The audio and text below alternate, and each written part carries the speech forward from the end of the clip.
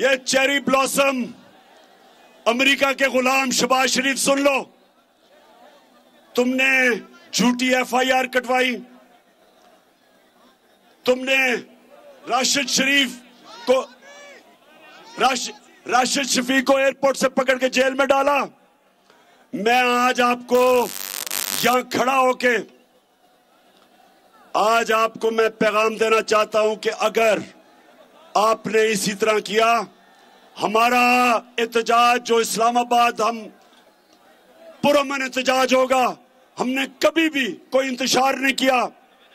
हमारी तो औरतें भी वहाँ आएँगी और मैं मियाँ वाली में इतनी औरतें जो आई हैं, उनको मैं खराज तहसीन पेश करता हूँ। हमारी औरतें भी आएँगी, हमारे बच्चे भी आएँगे। सारे बताने के लिए कि हम ज़िंदा कौम हैं, हम गुलाम नहीं हैं, हम बेकारी नहीं हैं। हम लाइफ सपोर्ट मशीन पे नहीं है। हम एक कौम है जो कि ला इल्लल्लाह के नारे पे बनी थी। हम ये बताने आएँगे इस्लामाबाद, लेकिन अगर तुमने इसको रोकने की कोशिश की, तुमने इसी तरह की एफआईआर काटी तो फिर जो होगा वो आप जिम्मेदार होंगे। आप जिम्मेदार होंगे।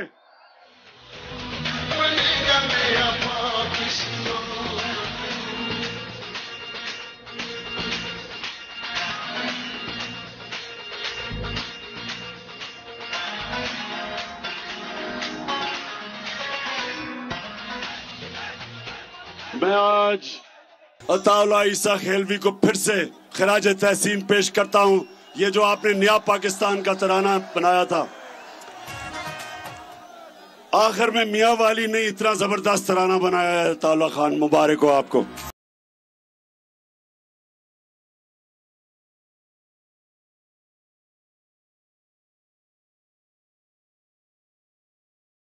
अच्छा मियाँ वाली, अब सारे तो इस्लामाबाद नहीं आ सकेंगे।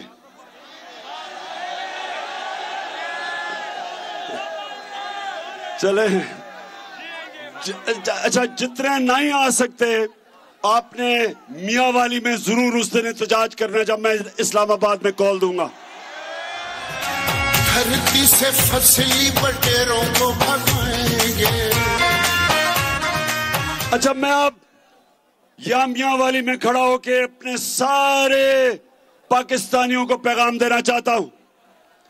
मेरे पाकिस्तानियों, मेरे बाशूर पाकिस्तानियों, ये जो मैं आपको इस्लामाबाद बुला रहा हूँ, ये तहरीक इंसाफ को नहीं बुला रहा, ये मैं अपनी सारी कौम को बुला रहा हूँ, मैं अपनी बहनों को बुला रहा हूँ, बच्चियों को बुला रहा हूँ, बच्चों को बुला रहा हूँ, नौजवानों को